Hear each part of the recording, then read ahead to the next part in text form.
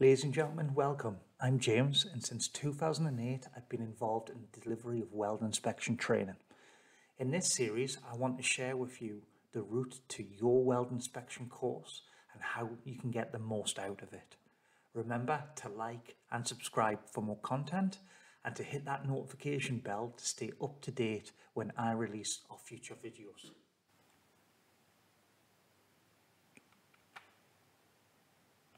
So as a quick disclaimer before we start, the way I'm going to run through this is the way I teach the course.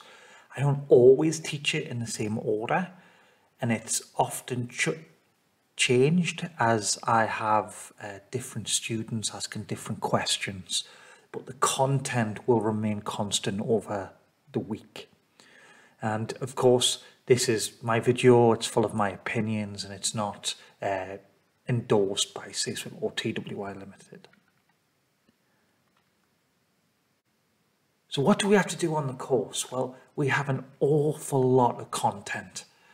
It's a four days cram if you haven't already sort of started learning to cover the welding processes, how they work, why we use them, their benefits, how we then test the materials for NDT and mechanical testing, the documentation that goes along with that, and then how in production we maintain mechanical properties and weld quality levels to meet the desired outcome. And then that ties in all the, the subsidiary information about weld consumables and calibration and weld and safety. So there's an awful lot to get through. So my first bit of advice here is do not wait until Monday morning of your course to start revising. Take in information from all over the place, as many different resources as you can before you get there, because it's an awful lot to do in the week. So, day one, what do I do? Well, I start with an introduction. I take you over how the course will work, uh, how it's structured, break times, you know, all that type of thing about emergency exits.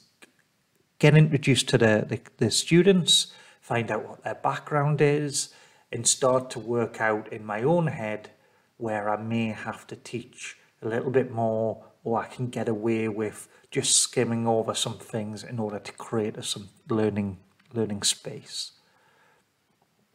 Duties of a weld inspector.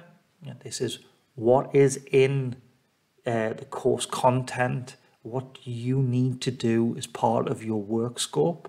And of course, the uh, TWI scheme document, which I'll leave a link to below, will take you through exactly what the, the roles at different weld inspection levels are.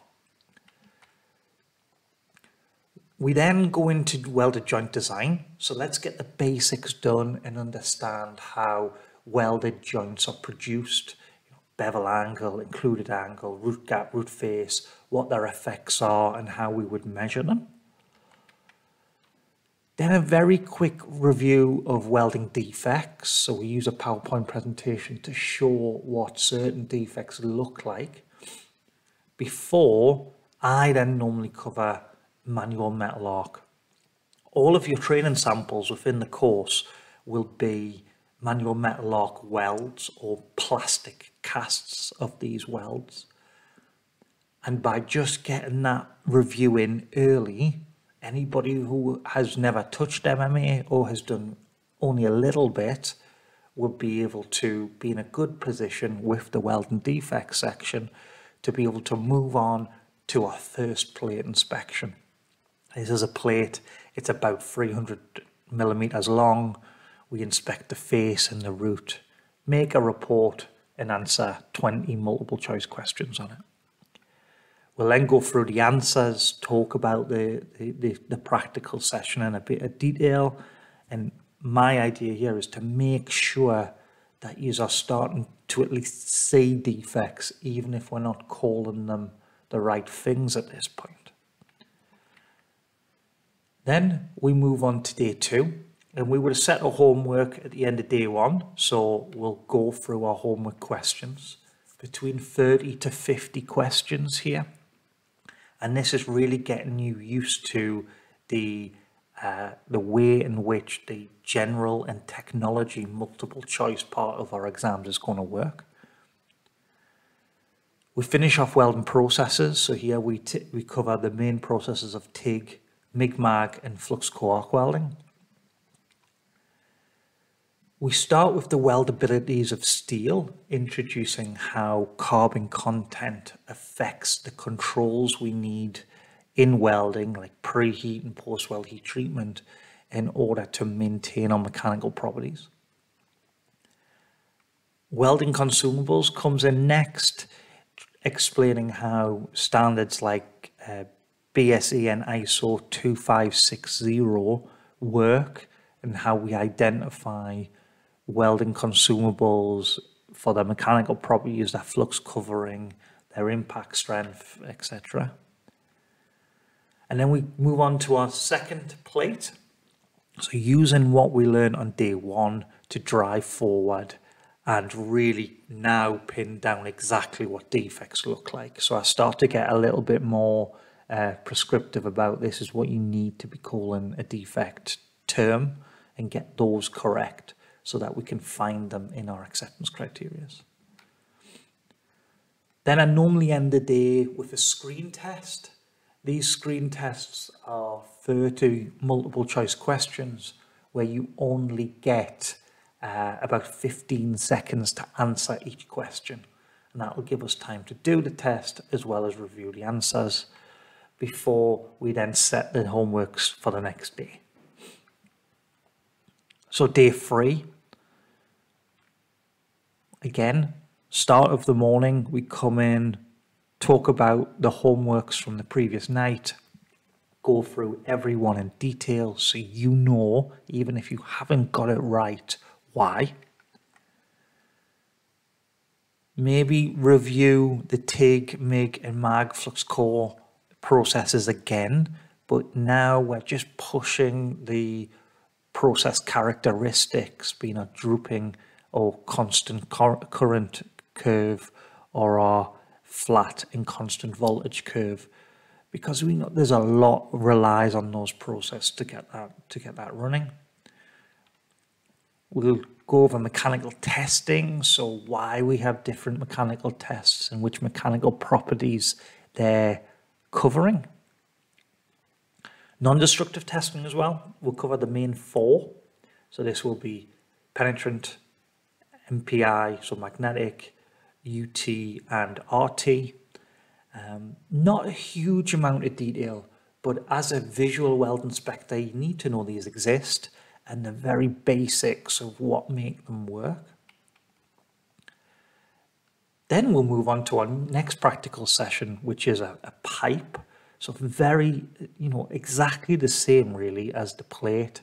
Just now it's curved. It's a little bit harder to see into the root but we use again that that information we've taken from day one and day two practicals to to make it a little bit more difficult and then we'll do another screen test another set of 30 questions day four yeah there's a pattern here isn't there review our homework review some macro sections. So these are cross sections of the welds where we're looking to identify welding defects. Do welding procedures and welder qualifications. So I like to take you through a general flow of a welding procedure and welder qualification task list, how we move from PWPSs to mechanical testing and uh, making a full package. I don't really tie this down to a specific standard because there are so many, but they all have the same sort of flow. Then we'll finish off with our last practical session of the week, which is our second pipe. And again, go through the answers and get that running right. And finish off, hopefully with two screen tests, if, if I can fit it in.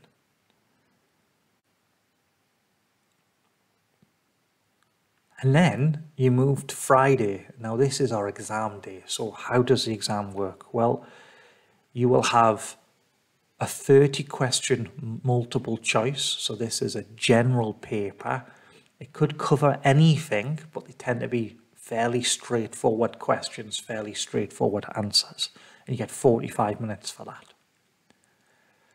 Then you have a 60 question multiple choice, which covers our technical questions, which are more in depth. You'll have two macro examinations to review, 20 multiple choice questions for those two, so 10 each. 20 questions for a plate inspection, and we get an hour and 15 minutes for that. And an hour and three quarters to do a pipe. It's a bit bigger, you know, harder to see in and move it through.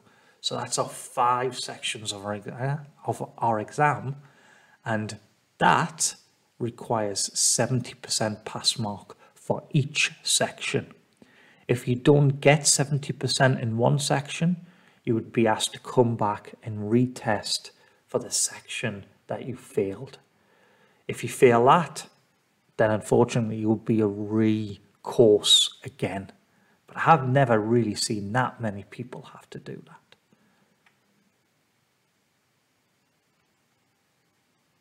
So that's a very quick review of what the Weld Inspection 3.1 CSWIP looks like in 2022.